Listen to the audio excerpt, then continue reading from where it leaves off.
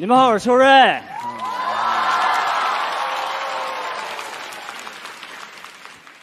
我今年入职效果文化了，还挺不适应的。我就从来没有干过这么闲的工作呀，好久都没挨过骂了。我最近一次挨骂还是我领导程璐指着我鼻子说：“你喝那么点养鱼呢。”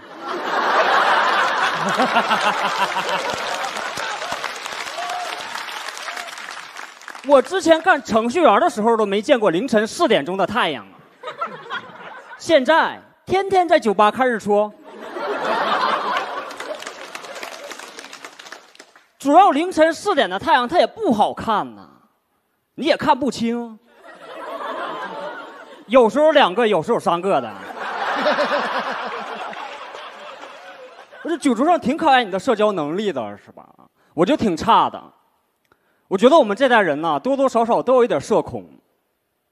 我最害怕碰到的人就是另一个社恐。我们两个人聊天就没有什么对话的概念了，那就是互相提问题呀。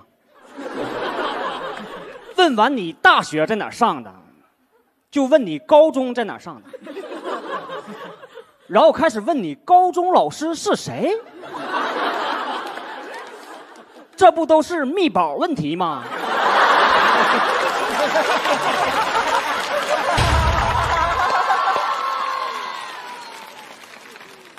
咋的？聊完天偷我 QQ 号去啊？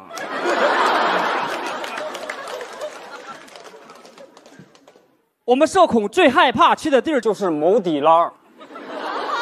你就觉得这帮服务员就不接受人与人之间有边界呀？你有时候都没看见他们的招牌呢，就已经看到他们的迎宾了。当你目光一不小心跟其中一位对上那一瞬间，你就知道这把完了。今天只能吃某底捞了。我坐在桌上，我就感觉他们默认我丧失行动能力了。我只是说了一句我想喝酸梅汤，我感觉我就正式加入他们的流水线了。一杯杯给你倒，也不知道个停啊！我都吃完饭了，我想着临走之前把这杯喝完呗。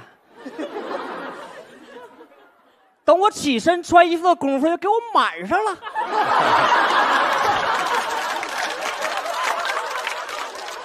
我回来之后看到这杯酸梅汤，我都懵了。我说我刚才到底喝没喝过酸梅？怎么硕大一个火锅店就容不下一个空杯子呢？你感觉在这个地儿都玩不了那种时间静止的快闪，你就不管把时间停在任何一秒，都至少有一个服务员正在倒酸梅汤。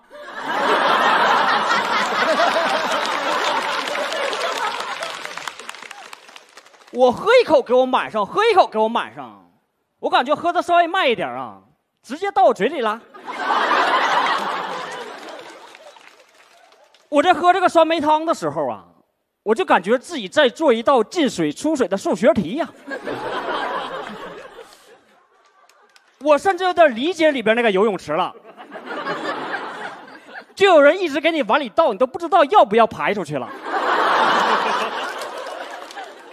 我正想着怎么把这点水排出去呢，我朋友突然站起来了。今天秋瑞过生日，然后服务员看了我一眼，当我跟他目光对上那一瞬间，我就知道这把完了。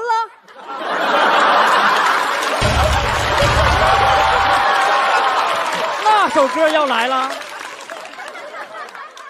来吧。跟所有的烦恼，跟所有的快乐。亲爱的，亲爱的，生日快乐！为什么那么多哎呀，哇，好厉害！当时场面就跟现在一样尴尬。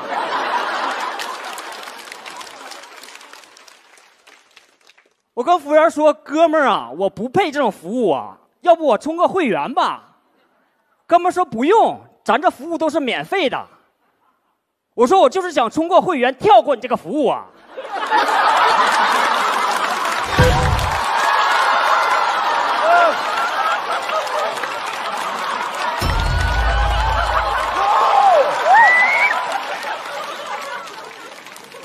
等我们从这家火锅店出来的时候，我朋友还问我呢，人家服务员服务这么到位，你凭啥有这么大的情绪呢？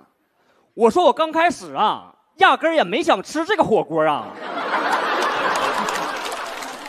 再说今天他也不是我生日啊。谢谢你们，谢谢你们。Hello 大家好，我是毛东，大家好吗？刚才我真的没想到你们对那个歌那么熟悉。你们听过那首歌的前半句吗？我之前过过一次生日，那是我第一次从头开始听那首歌。那首歌开头这么唱的：“今天你生日，送给你祝福。”我说他妈这是嘲笑我河南口音的吗，哥们儿？我一点儿不是为了夸张啊，这首歌真的这么唱。他说：“今天你生日，送上我祝福。”我就特别想接含苞待放一悠悠。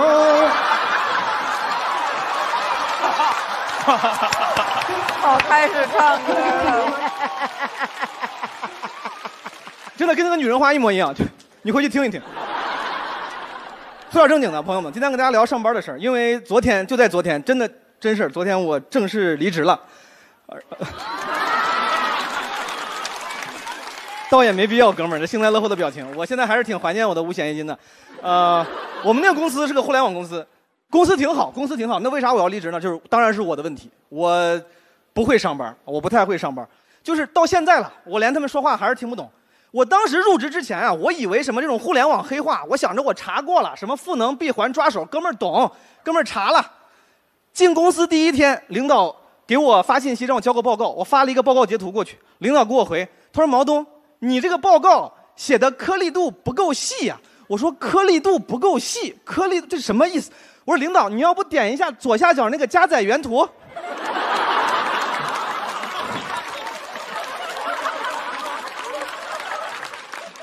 iPhone 4S 该换就换嘛，对吧？赚这么多钱你得花呀。有一次开会，同事在那说，他说咱这两个项目咋耦合？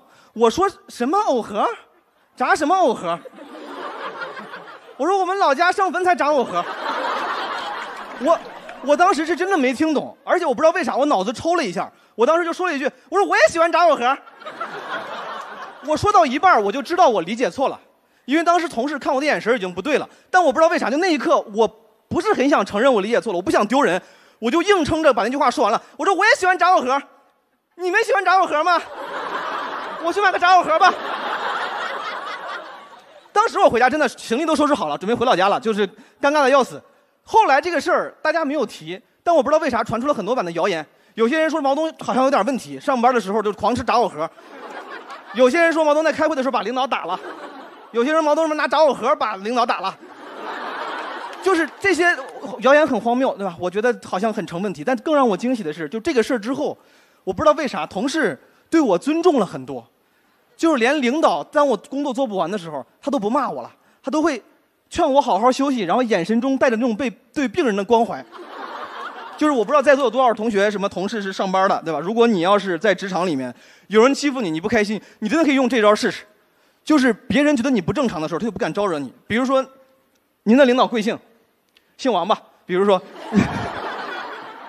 比如说王主任，王主任就天天欺负你，你就不开心，你就可以趁着王主任在茶水间喝水呢，你就过去跟他说：“王主任，我想摸你的头发，只是简单的试探呢，王主任。”然后说完你转身就走，不要不要不要解释，好吧？不要解释。说什么说什么无所谓的，说什么无所谓，主要是状态。王主任在那喝水，拿杯水过去，你说王主任，Cheers。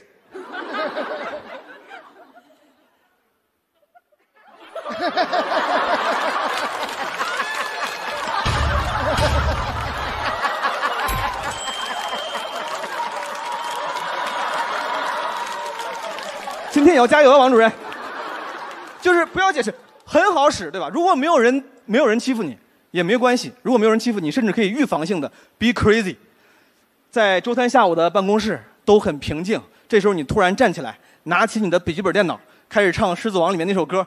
那次朋友，那那你就我我树喷呀，就是你最好自己上唱和声，好吧？就是不要找同事配合你，会显得有点刻意。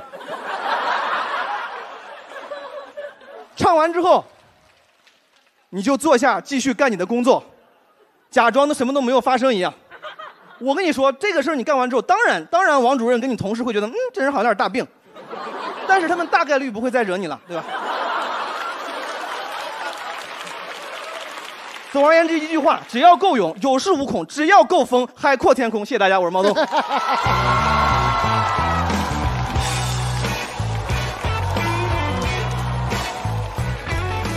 谢谢。大家好，我是海登。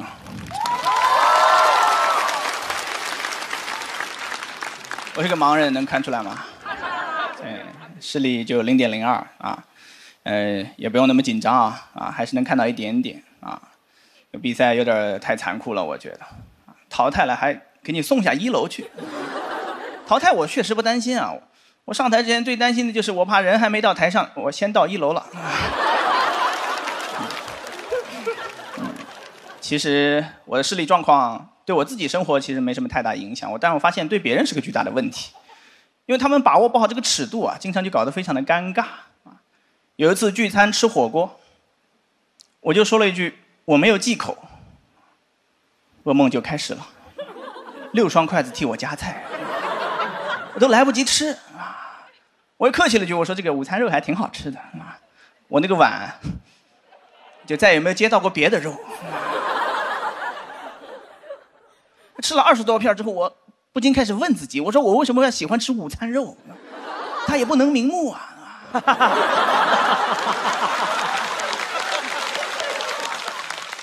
我心想，要不然吃点凉菜吧。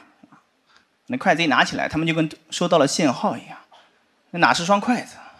那就是个点读机呀！直到呢，它都有语音播报，说这个是个西瓜，这个是小酥肉。我说这太烦了。这不吃，这个是个毛巾。我说拿它擦半天嘴了，我不知道这是毛巾吗？不会是个毛肚吧？水也不让我倒啊！我说没事你把那个水壶给我，我可以的，是吧？我说倒，他们就跟看变戏法一样，是吧？说好好好好，哎哎，好了好了好，买了好，哎好。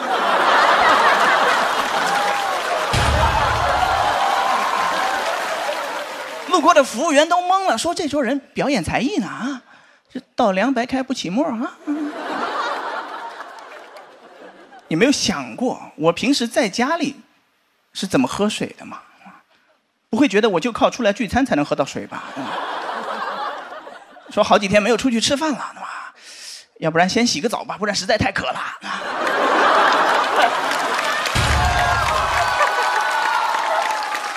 这种过分的照顾其实，呃，是一个极端。还有另外一个极端，他们完全不照顾你，他们甚至会攻击你。脱口秀演员都是这样的，他们基本上没什么人性，说话不会考虑你的感受，他们就在想我这句话好笑不好笑啊？讲脱口秀，穷和丑，那就是老天爷赏饭吃。像我这样有残疾证的，那就是老天爷赏午餐肉了。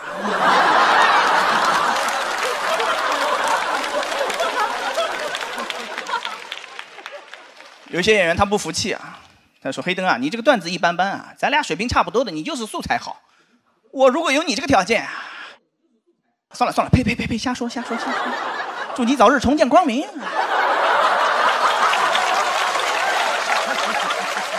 我说你在我跟前瞎说，你是不是有点班门弄斧啦？平时一些演出机会，我们是要抢的，就报名啊，谁先报上谁就可以去演。我老抢到，他们就在群里讨论说，怎么还能抢过一个盲人？最后一百多个人讨论出一个结果，他们说我抢到是有原因的，因为我这个人啊，他们说我眼疾手快。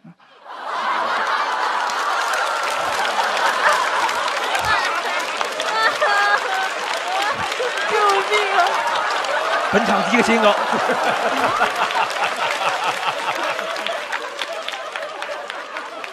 跟他们一起玩狼人杀，说天黑请闭眼，黑灯你不要动，还撺掇我去玩剧本杀。我说杀没有问题，剧本对我来说会不会有点太难了？他们说没有关系的，一块去热闹热闹嘛，不让你 A 钱啊？你就看我们玩，我们在那搜证质证，你就当个目击证人就行了。我去了，我拿手机拍照，然后文字识别，那个听，没想到啊，八个人里面我是第一个读完那剧本的。那个 DM 都傻了，说没有想到他职业生涯遇到过读剧本最快的是个盲人。现在半个脱口秀圈都在期待啊，期待我去玩飞盘能有什么惊人的表现。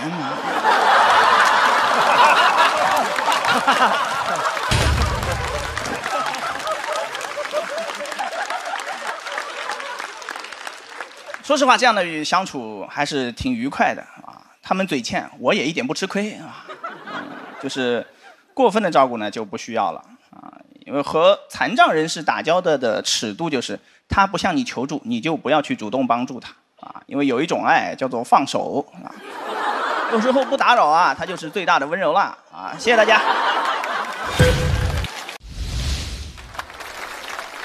哎，大家好，我是黑灯，能看出来吧？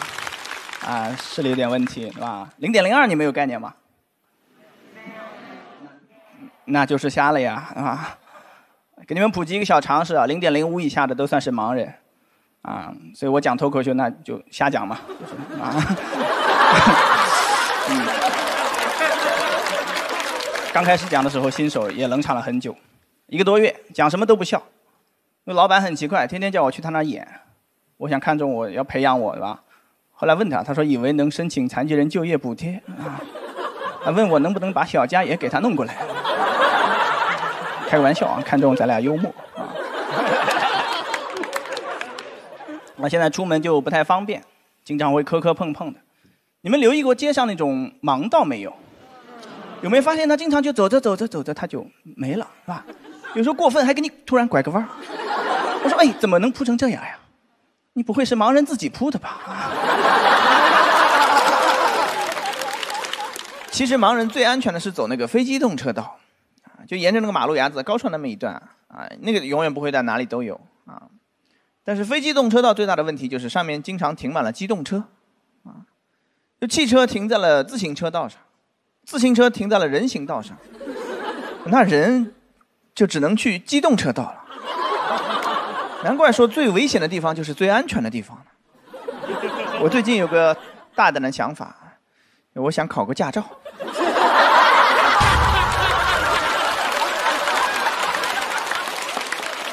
呃，那个盲道经常被占用啊，你就面对那一排共享单车，感觉自己到了一个文明的盲区，能怎么办？就只能一脸茫然。台上没有铺盲道吧？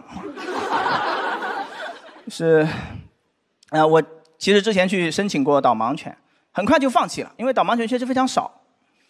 呃，全中国有多少盲人？你们知道吗？八百万。嗯，导盲犬两百条，对，每年有五万多人在排队啊！我想我等的狗，它在多远的未来？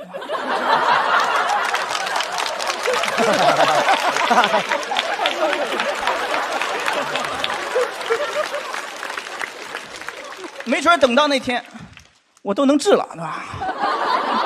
嗯，法律规定导盲犬是可以进这些公共场合的，但是经常还是会被拦下来。吧，怕它会咬人啊什么的，这就充分暴露出这些人非常的无知，啊，导盲犬筛选的第一条就是你往上数四代，不能有任何那种攻击人类的行为，对，就这么严格啊，选种也非常严格，嗯，怎么说呢？对身材有要求，柯基这种不行，腿太短了，他自己上楼梯都费劲，哎，我的我抱他，对吧？太聪明不行，像边牧这种，啊。它不仅通人性，它甚至都能通人情世故。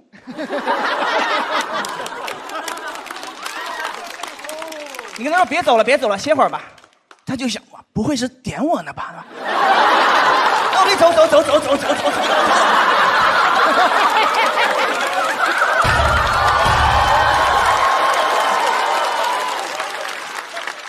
没有关系啊，我这身手飞盘我都接得住，这个车算什么呢？太蠢的也不行，哈士奇这种不行。哈士奇确实也能带路，黄泉路。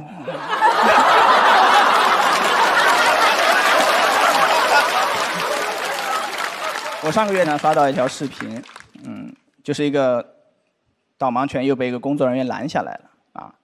下面评论区有好心人在科普，说迄今为止全世界范围内都没有任何一次导盲犬袭击人类的记录。还有那种网友在下面杠他，说以前没有不代表以后不会有啊。就算不咬人，那有的人他就是怕狗怎么办呀？我当时火就上来，我说怕狗那就是怕狗的问题啊，那不是狗的问题啊。我社恐啊，我还怕人呢，对吧？嗯，我觉得文明的盲区啊，其实在很多人的心里面，不在路上啊。那最后了，嗯，提醒一下各位，根据残疾人保障法啊，所有这些正规的比赛，你需要给残疾人提供一些合理的便利。灯太少呢，我确实是看不到。许不许？嗯，朋友们，可否借我一双慧眼，帮我看看几灯了？现在。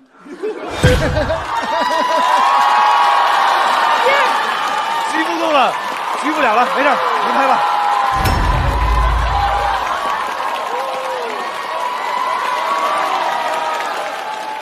四四灯，四灯，四灯，四灯，当当当当，四灯了是吧？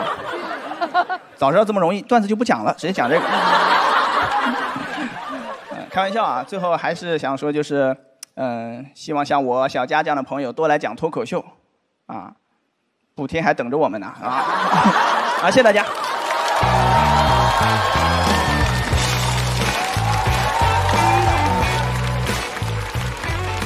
好，谢谢黑灯。讲脱口秀几年了？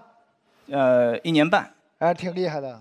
最后是大老师，因为大老师其实我能看出来，他前面听的已经很想拍灯了。对，您帮我拍也是对的，因为我心里你代表了心里的我，没错，就想拍就拍。但是值得拍，是不是？很多地方真的很很很有很有意思啊。那您刚才说那个零点零二是什么一个？呃，就是视力，就是你们测视力不是有一点几、零点几、零点几吗？对，那零点零二是什么概念呢？零点零二就是大概能看到一些模糊的形状，就是那儿看到那儿有一个灯，那儿有一个 R O，但是这这是我的头啊，这是我的头，朋友，朋友们，快来，朋友。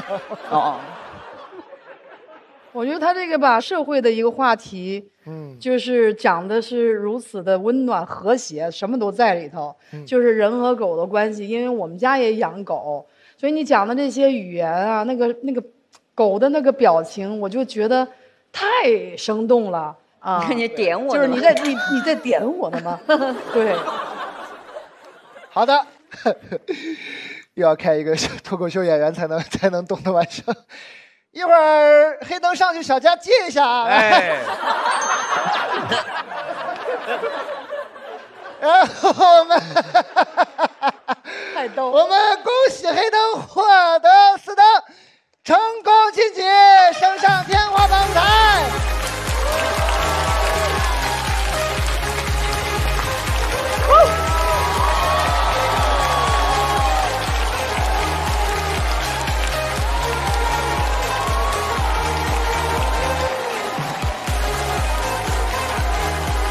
好，谢谢。我前几天第一次见他的时候，我以为这是他的人设，我以为他是装的。今天我才知道他是真的，然后我就很慌张，然后下楼梯什么我们都扶着他。我觉得黑灯表现也特别好，就是他不是一个说因为他的忙让大家觉得他是一个可怜的人，他就是以一个他这样的视角去看待呃生活中的一些。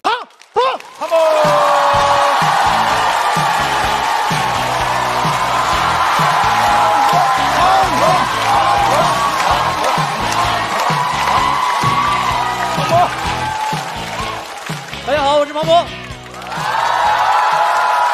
太开心了，哇！脱口秀大会办了四季，终于有人生出孩子来了，太开心了，哇！我现在真的百感交集。我是我是总决赛唯一参加了四季脱口秀大会的朋友，我在这个舞台上感觉到了很多很多很多的变化，很多的变化。我感觉到最明显的变化就是审美的变迁。第一季的时候，不惭愧的说啊，长得帅是我的优势，是吧？啊，大家看到我都这小伙子长挺精神，哎，还会说话哇！哥们儿当时是吧，实力大花瓶。但我不知道这两年发生了什么，是吧？就是大家的审美，就突然间开始猎奇了起来，真的。就去年广智来的时候，大家还是天哪，这是啥啊？今年智胜来了啊！天哪，天外有天，我。还是好使。哎呀，我姐，怎么还夸上自己了呢？你知道每次，尤其是智胜从这个通道出来的时候，是吧？我感觉观众就有一种被枪指着一样不得不笑的紧迫感呢。我第一次看，我说我说这是什么喜剧原理是吧？后来想明白了，暴力丑学。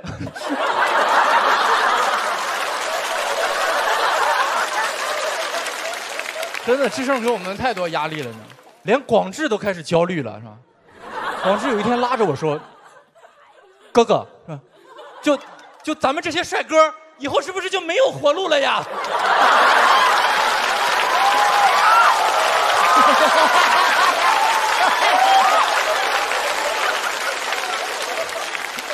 你说志胜还在安慰我俩说：“没事儿，这个长得帅治不好，也就是说，他是一种绝症。”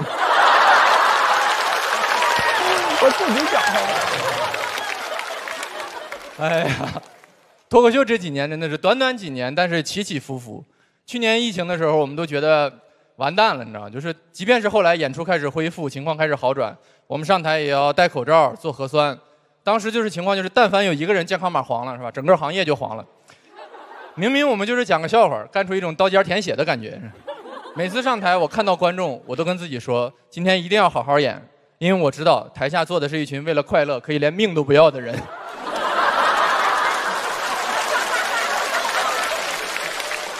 后来，后来也是情况都在好转嘛，疫情也在缓解，然后脱口秀也慢慢好了起来。一度我们的票都很难买，对吧？有还有观众来问我说我的票买不到，说就质问我，你你你你们是不是跟黄牛勾结？你们是不是把票都卖给黄牛了？你这个演出庞氏骗局，那是。啥玩意我个人真正体会到脱口秀真的火了，是去年有一次演出，是吧？我发现。连王思聪都来看我们的演出了，我心想，连他都需要我们来给他提供快乐了吗？他是怎么抢到票的？这是。你知道那一天我真的很震惊。我上台前，我们的剧场工作人员才告诉我，他们跟我说：“哎，校长来看演出了。”我说：“啊，谭咏麟来了吗？”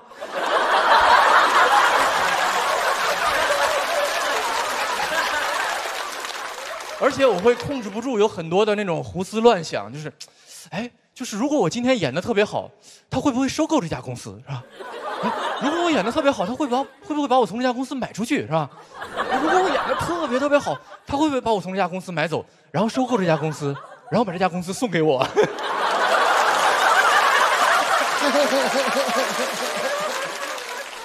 你知道那天，那天他坐在我们剧场后排大概这个方向的一个角落里。我已经是一个相对比较成熟的脱口秀演员了。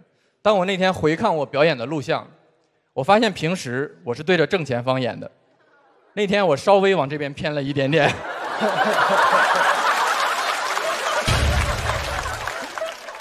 我都不知道是什么样的力量把我扭过来的，可能就是资本的力量，你知道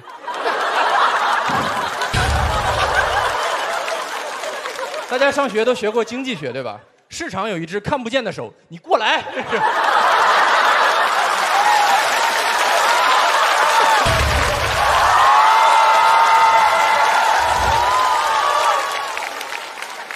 而且我能感受到自己内心的摇摆，就是我都能看得出来，我在做一个职业脱口秀演员跟做人的本能之间的摇摆，是所以我有的时候铺垫还是刻意冲着这边讲的，但我没有一个梗错过过。我那天的表演特别神奇，全都是哎，你们说徐志胜这到底是一种什么样的喜剧原理呢？我想明白了，暴力丑学。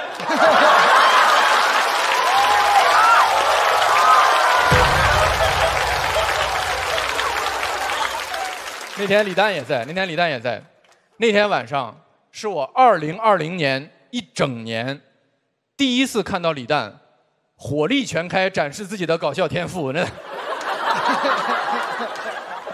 我之前都快忘了他是个脱口秀演员了，是吧？感谢那一天让我想起来了，是吧，原来领笑员也可以懂脱口秀的。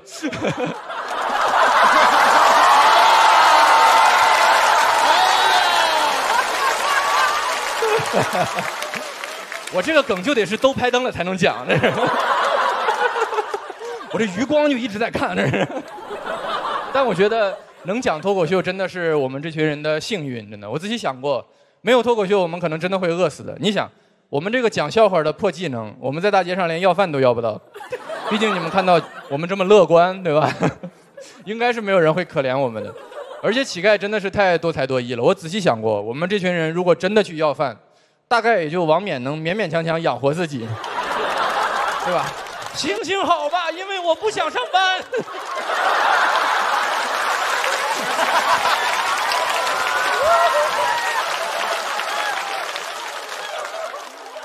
所以，我们一定会一直讲脱口秀的。能陪大家走过四季是我的幸运，大家愿意陪我走过四季，更是我的荣幸。谢谢大家。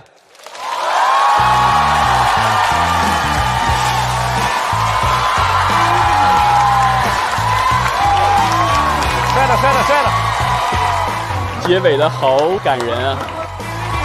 喜欢庞博的观众朋友，不要忘记为他投票。三、二、一，请锁票。庞博说了一个获奖感言，真的是，是一个行业发展的盘点、啊，对对对，回顾、是是是，总结与展望，还让大家继续走过自己。抢了领导的活儿，真是。庞博以前得过一回第一名了，是不是？第一季的时候，这一季如果再得冠军的话，那就又我又得了第二一回冠军哈，我好棒啊！废话文学，谢谢各位，没事没事。没得聊可以不聊，当然没有，我我只是特别期望能能有能有双夺双夺冠这种感觉，这种事儿出现啊。因为他最后说的，他走过四季，其实还是挺不容易的。对因为从第一季到现在，脱口秀最开始，然后大家看到这个节目，到现在越来越多的人喜欢，我觉得是他走过这四季，也是脱口秀这四季的感觉。对对对，真的好多人喜欢这个节目。对，啊，大家好，我是梁海源。啊，非常的紧张，非常紧张。作为第一个选手，然后我刚才听了毛不易老师说的，我这件衣服也是七九九。嗯，对。然后老板我说买不起，我转身要走，他说七十九给你，就买回来了。对，今天是半决赛啊，我们的题目叫怎么选都不错。真的做人就是这样子，人生的选择很多，就是你想要快乐一点，你就只能知足常乐。有可能我这个人现在所能拥有的东西，就是我们所能拥有的最好的东西了。我们每个人出生之前都希望马云是自己的爸爸，都希望选择马云做爸爸。有些人出生之后还不死心，还非要叫人家爸爸。真的，但是我曾经想过啊，我们选择爸爸，有可能跟我们上大学填志愿是一样的。我们的第一志愿都是马云，第二志愿王健林，备选志愿于谦，啊，最后一个志愿服从调剂，对吧？很明显，于谦老师的父亲王老爷子就是一个调剂过来的爸爸，当然也很不错，对吧？马云跟王健林他们招儿子的名额也非常的有限，你就考了三百分，最后只能调剂到你爸爸这个志愿这里，你还不满意，然后一出生，哇，看看你爸爸，看看你这个家，哇，就哭了，我要回去复读，对吧？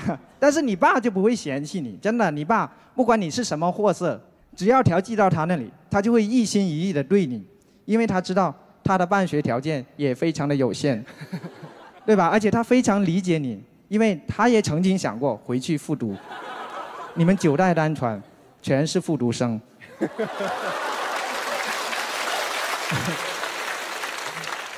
对，我曾经也对我爸不太满意，但是我现在觉得我爸真的挺好的。你知道吗？中国有句话叫什么？再穷不能穷孩子。然后我们家呢就很穷，然后如果我把这句话告诉我爸说不能穷孩子，我爸会跟我说啊，不可以吗？不穷孩子穷谁啊？难道穷爸爸吗？真的这句话很奇怪的，因为再富不能富孩子，我们是很容易做到的，对吧？但是再穷不能穷孩子，只能说明你还不够穷，因为你只要足够穷的话，一定会穷到孩子的。在贫困的家庭里，没有人能够幸免，因为你们是一个 family。对我，我小时候呢，我爸真的很穷，买不起电视机。我要看电视的话，我只能去邻居家看。如果邻居家的电视很大的话，我就会很开心；如果邻居家的电视很小的话，我就会觉得这生活质量也太差了吧，还不如不看呢。然后我就会留在家里陪我的爸妈，啥也不干，只能尽享天伦之乐。你们肯定没有享受过像我这种版本纯享版的天伦之乐。我爸还跟我说，电视有什么好的？家人之间最重要的是互相陪伴呢、陪伴才是最长情的告白。所以我从来不会抱怨我爸陪我的时间不够多。我有时候会觉得他们陪我陪的有点太多了。有时候我看着我爸，我都会想，要是我爸是个电视就好了。真的，我是一个农村长大的孩子，但是我爸呢，一直希望我能够努力读书，考上大学，改变自己的命运。所以呢，我虽然是一个农村的孩子，但是我爸从来不让我掌握、学习更多的农业技巧，因为他怕我爱上这个行业。因为中国人会干一行爱一行，最后我走投无路，我只能像你们一样，成为一名普通的大学生。我很多小学毕业、初中毕业就不再上学的同学，他们很多人都成为了大老板、包工头、挖掘机大亨，在家里有房有车，甚至有的有别墅。我爸就有点心理不平衡，他就会跟我说：“为什么你读了这么多年书，你挣的钱却没有别人的一半多？”我也觉得很难过，我也只能安慰他说：“爸，虽然他们挣了很多钱，可是他们现在根本就没有时间陪自己的父母。”陪伴才是最长情的告白，一家人最重要的是互相陪伴。我爸跟我说：“你出去，我现在想看会电视。”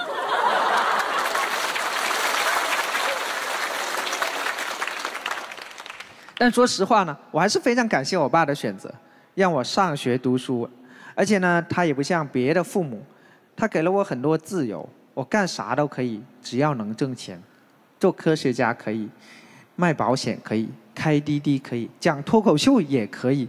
我爸还评价过我的脱口秀，还没你的二舅好笑呢。但是我跟他说能挣钱，他就会说可以可以。所以呢，我现在要努力挣很多钱，然后挣钱，把我的钱带回去给我爸，跟我爸说，爸，你以前没得选，但现在你已经是一个富爸爸了。好，谢谢大家，我是梁元，谢谢。好，谢谢海源。三、二、一，请锁票。紧张了，刚才再给两个掌声，紧张点。慌了，又紧张了。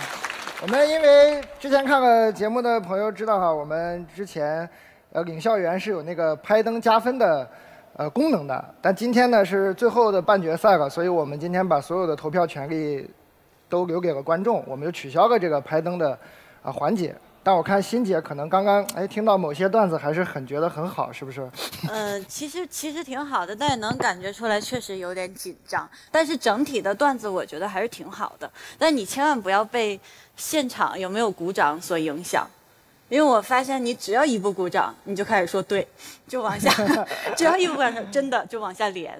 好的，好的，好的。嗯嗯。但是我还是挺，对对对对。但是我还是喜欢喜欢你的段子，嗯。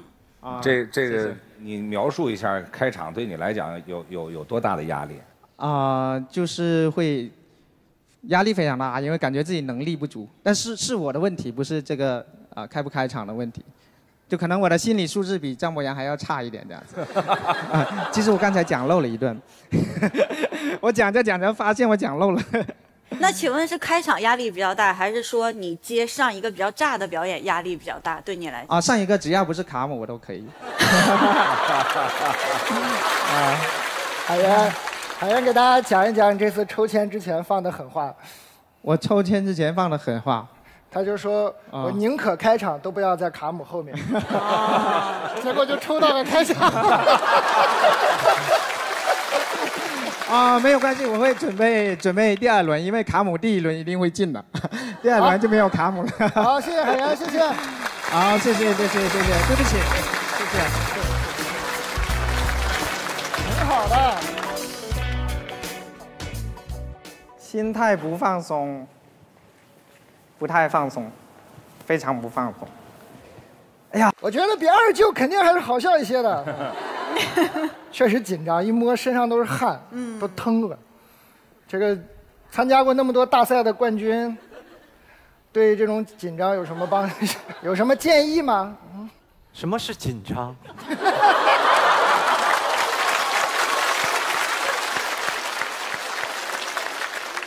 海源，学不到这个心态，也要学这个嘴硬，好不好？确实确实非常紧张，站站在台上手都抖，因为不是自己擅长的，底下人又硬不笑，你就真没办法，你也不能说哎来笑一个，啊，没办法，没办法你。看还是没笑吧，就硬不笑，你这 观众很难控制。